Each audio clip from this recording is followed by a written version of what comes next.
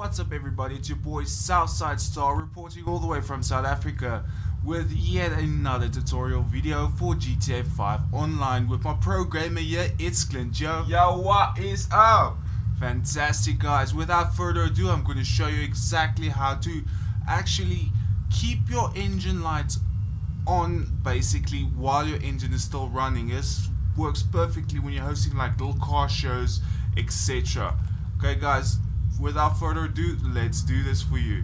So what you're going to do is you're going to get into the car, just turn the lights on, get out of the car again, just punch into the air just get back into the car, wait for the lights to go back on again.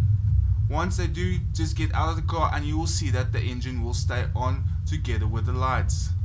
Fantastic guys, just smash that like button for me please and subscribe to Southside Star, subscribe to It's Clint here and thank you so much for watching guys. Have a brilliant evening.